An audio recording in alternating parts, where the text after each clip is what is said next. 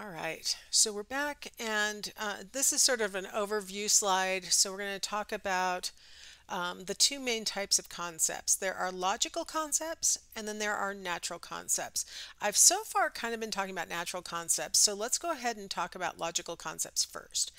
Um, so logical concepts.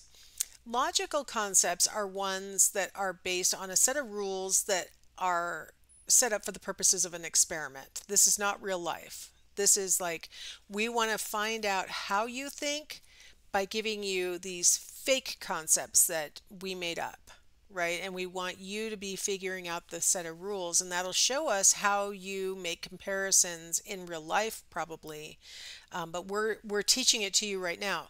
Um, the reason why we would teach you rules is because if you already came in with a really strong association between a particular concept and a particular exemplar, we would never know exactly how you process information because you may just process it really quickly and we think oh that's actually a rare thing and you think it's a common thing. It's all it's all imprecise. So in order to get control over situ- the situation we're going to have nobody coming in knowing anything about what we're talking about in this experiment and we're going to teach you a set of of of rules um, that then you're going to apply to experimental materials.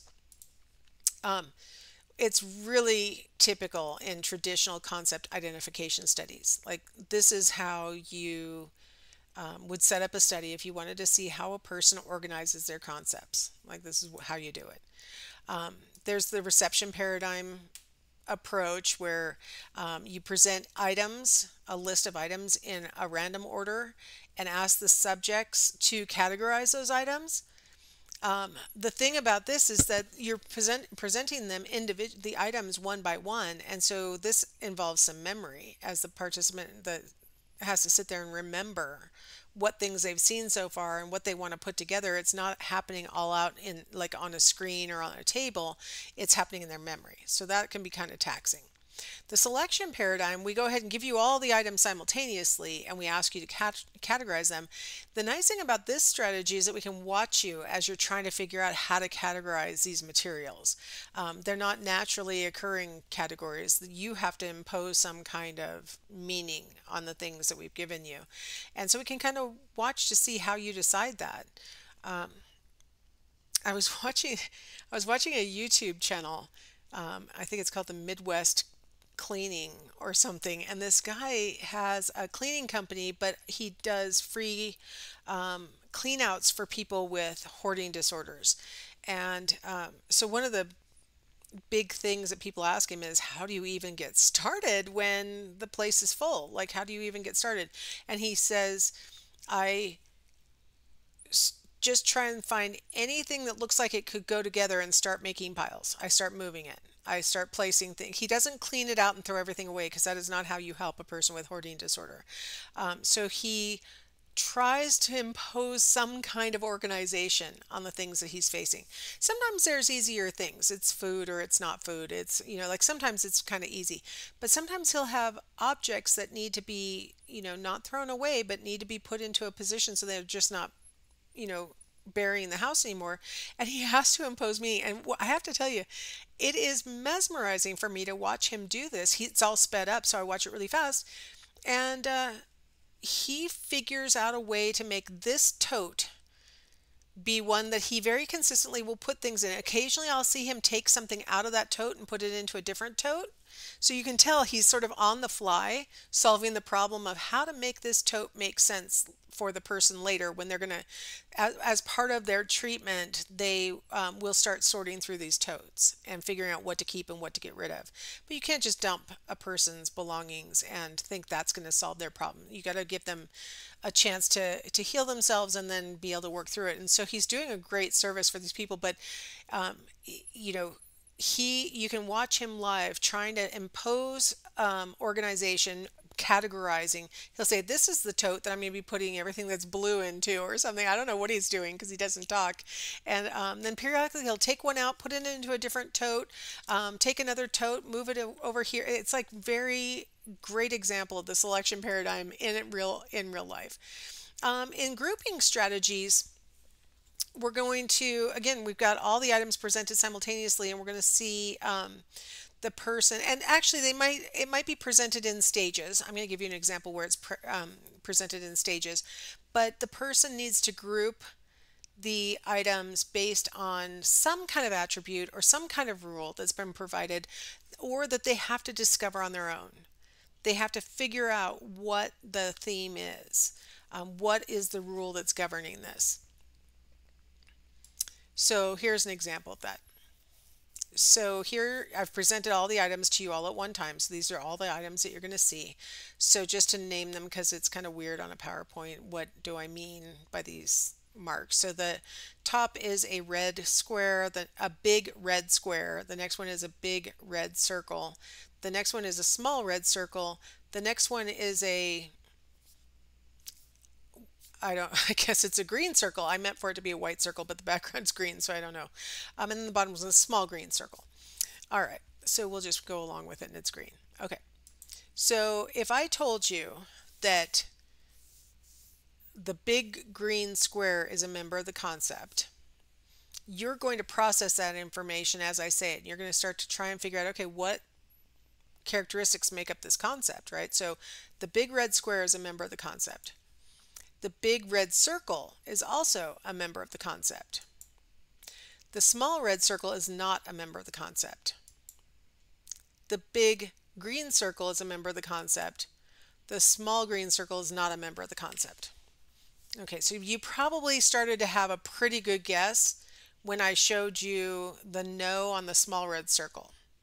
You probably had a pretty good strong guess and then by the time I showed you the big green circle, you were probably completely confident that you knew what characteristics make up the concept that you're dealing with, right? You're, we know big is probably the key feature of this concept, right? That you have to be a big one, either circle or square. And you can be either red or you can be green. It doesn't matter. Color doesn't matter. Shape doesn't matter. You need to be big to be a member of this concept, right? So you probably figured that out you were probably starting to develop a hypothesis after you saw the big red circle was a member. And then the small red circle probably really drove it home. You're like, I think I know. And then, absolutely, if you had any question left in your mind, the big green circle helped you to know that you were for sure you knew it. Um, so, what's going on there?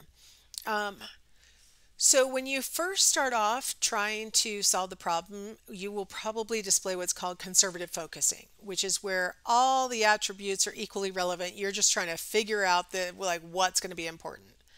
Um, one feature at a time gets changed, right? So we give you one hint, a big red square. Okay, that's everything. It could be big, it could be red, it could be square that's important. Second one, big red circle. Okay, so it could be big, it could be red that's important, but certainly it doesn't matter if it's a circle or a square. So then we get down to the small red circle, you know for sure the key factor is size, not color. Um, so you change one thing at a time. That's a really effective method for actually distilling down what's important for this concept. Um, I normally in class like to ask students, do you think this is what we naturally do most of the time?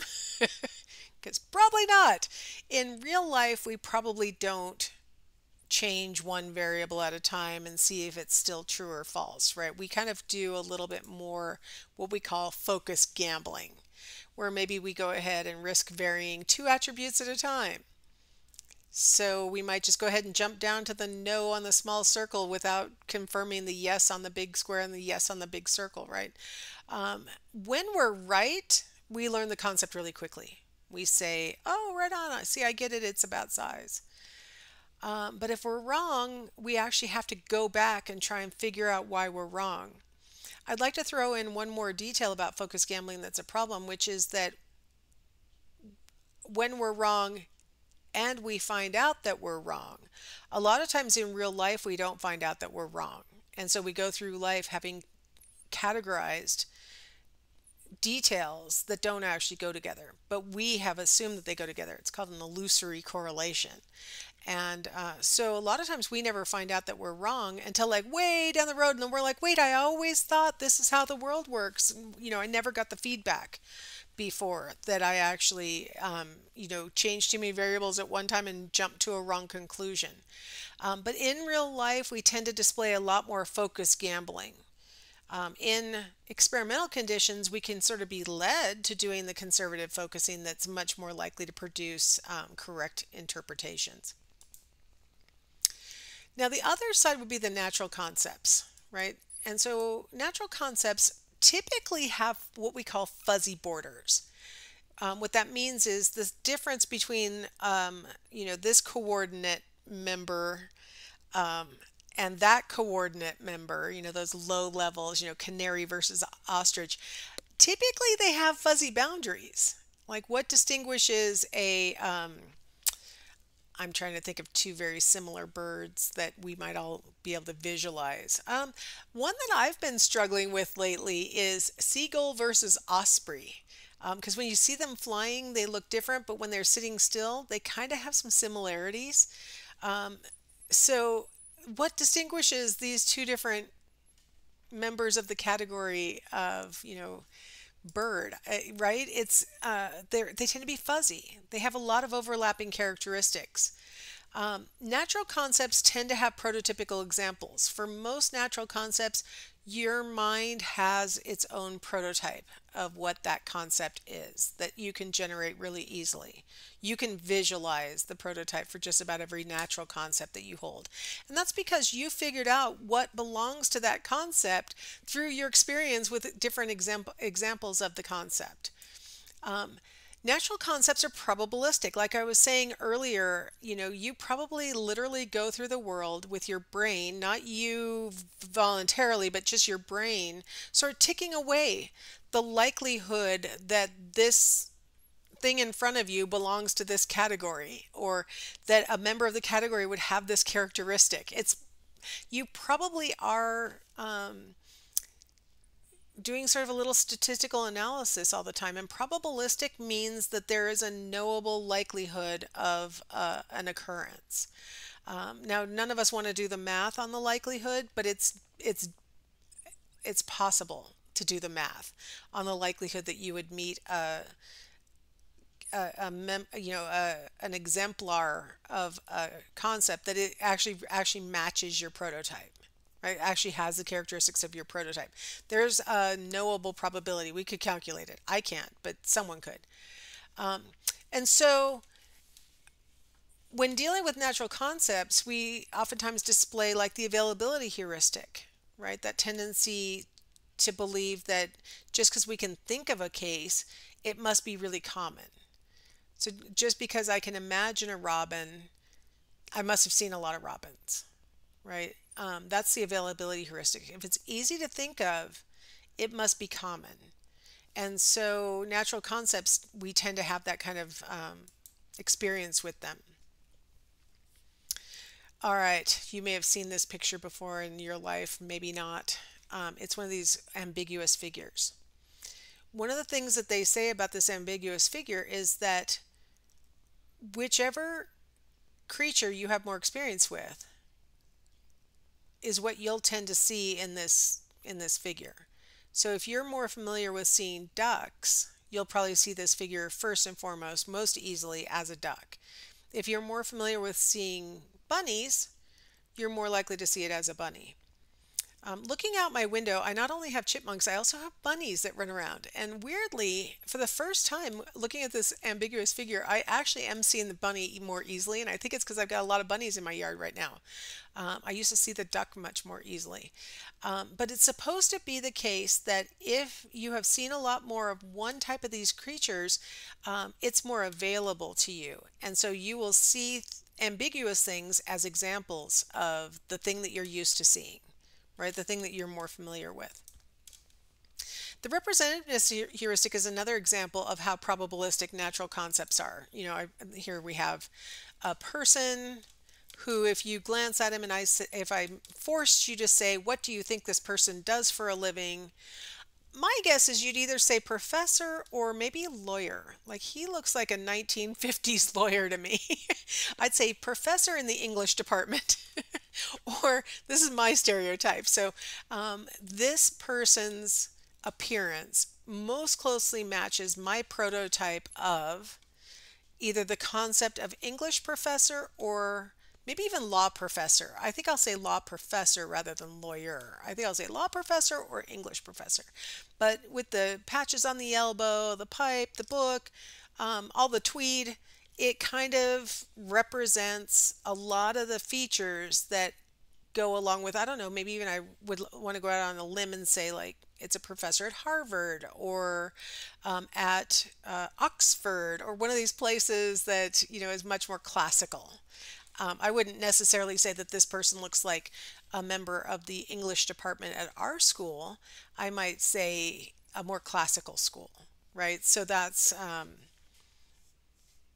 that's a good example of how the representativeness heuristic is um, illustrating our tendency for these fuzzy boundary kind of prototypical examples, um, all these category, all these characteristics of, of a of a natural concept. Now there are different kinds of categories as well. I've been trying, I've been semi mixing category and concept together. Um, when we talk about categories, um, there's the verbal context that can help us to determine what belongs to what category and what belongs to another category, right? Um, in this example, there were experimental conditions where um, they the person was just told name the object, and they went they were shown each of these objects one by one and they were supposed to name the objects. And one of the things about these natural categories that you're seeing here is it's hard it, the fuzzy boundaries are illustrated in this picture right? Like where is the dividing line between cup and bowl? Where's the dividing line between cup and like chalice? Um, or box? Like where is the dividing line? It's the fuzzy boundaries are there. Um, so in the experimental condition using this stimuli, some participants were asked to just name the object, and that did reveal the fuzzy boundaries. And then others were provided context, like imagine the object is full of mashed potatoes. What would you call the object? And what you see is that, you know, numbers one through four were much more likely to be labeled as bowls in that context than if they were told, imagine that you're seeing this object at a dinner table. They might be more likely to label them as cups or, or glasses or something like that. Imagine you're drinking coffee from it. I mean, really, honestly, if you ever saw the TV show Friends, I think they drank their coffee out of either number two or number three. I'm not sure. and uh, they did look like bowls of coffee, honestly, but we recognize them as coffee cups when we think about them as coffee. So now think about it. Where would be the breakoff point between a coffee cup and a bowl? And I'd say probably number four is the closest thing to a bowl, probably, now that I'm imagining coffee. And then I would probably say, I'm still going to put, see, I would say number 16 now. That makes sense. I'm having like Irish coffee. I might say number 17 is the only thing that's no longer a, appropriate for me now. Um, that seems like something that should have wine or something in it. I don't know. Um, 18 and 19, I'm still struggling with those. Those feel a lot like boxes to me. But um, so you can imagine that the, the things might be clustered differently based on what you're imagining inside of them. And that's what they found in the research this study, this kind of um, verbal context helped to reveal the fuzzy boundaries that are present in natural categories, right? Like where's the break off from one and the start of the other. Um, now, a lot of times people, when they aren't sure, they use what I've identified previously in lecture. Um, they use a hedge to try and explain. Well, that kind of looks like one of the cups that they drank out of on Friends. Or, you know what, that kind of looks like a beer stein or you know that kind of looks like the kind of cup that you would drink Irish coffee out of. Um, oh, that kind of looks like a, a bowl that I have at home. Um, things like that. That that kind of is a hedge. It's like, okay, this isn't a perfect match, but I'm trying to make a justification for why I'm seeing it as a member of that category or not. Um, so we oftentimes see people um, using hedges in that that sort of circumstance. Now, linguistic context and judgment, you might be like, wait, how is verbal different from linguistic? Linguistic context and, and judgments where we're asking them to um, make decisions about um, stimuli. We don't see a consistent set of exemplars or a single prototype emerge. Um, the example's representativeness will be judged based on the linguistic context usually. So let me give you some examples. So like semantic categories. Um, so if we ask you whether a chair is representative of the concept of furniture versus whether we um, whether you think a rocking chair is representative of the concept of furniture right? Like these are semantic cat- categories furniture chair rocking chair. Um, you can imagine that maybe you have your concept of furniture organized something like this where you have like this overarching superordinate category of furniture and then maybe it's divided up into big categories underneath that you know subordinate categories. And under the subordinate category of chair you might have you know coordinate level rocking chairs recliners things like that. Um, and so the more family re- resemblance that a, an exemplar has so under the category of chair having four legs having a flat seat having a back um, the more of those things that that the exemplar has, the the more likely you are to think that it's a member of that category. And so rocking chair might suffer because yeah, it has four legs, but they rock. Right, so it might take you a second to go. Is a rocking chair furniture? Is a rocking chair a chair? Um, you may have to think about it a little harder than if you were presented with like a dining room chair or um, you know a typical like schoolroom chair or something like that. Um, typically, subordinate category members are easier to visualize than the superordinate category. Like the concept of furniture is a lot harder to visualize than, um, you know, the concept of chair. You can generate a prototypical chair in your mind a lot easier than you can a prototypical furniture. Like you probably might think about a chair or a couch, but you have to decide which one is what which kind of furniture am I thinking of? Whereas with the concept of chair, you can very quickly think of an of an, uh, an exemplar. All right, so let's put this all together. I feel I feel like this chapter needs a good wrap up because it seems like it's a little bit disjointed. It's not categorical enough. Um, so think about the semantic memory store which we've we've addressed before and think about how you know it's got that procedural memory it's got um, you know some propositional aspects you know the things that you know that you know. Um, this allows for you to become an expert in certain things right because you know what you know. Um, think about the semantic memory context contents and how the semantic memory is structured and the structure of semantic memory probably falls some to some degree into one of these theories um, uh, that we talked about you know the the teachable learning comprehender I shortened it to TLC you know, it argues for the existence of hierarchies, um, the use of cognitive economy. Um, it displays the category size effect, right? The spreading activation model um, talks about interrelated nodes. It talks about distance determining the strength of the association. And then the feature set theory um, says that we match features to the categories. Um, probably these things all work together in some fashion. And if you kind of think about, well, in the spreading activation model, what's not to, what's to say that you couldn't have a hierarchical structure, right? And in the feature set theory, maybe in that hierarchy are the different features that belong to the categories. So there's there's really nothing that makes these um, uh, po- you know opposed to each other and they probably do all each explain part of the semantic memory structure. Um, keep in mind the difference between a logical category and a natural category right? Um, we can use those logical categories to really give us insight into how people process new information and try and form categories or concepts. And um, we can attempt to explain natural categories by using concepts like the representativeness heuristic and the availability heuristic to explain how people, and hedges and other things to explain how people use categories in the real world. So, all right, well, that concludes what I think is like the most exciting and interesting to talking about chapter nine. So, I'll see you next in chapter 10.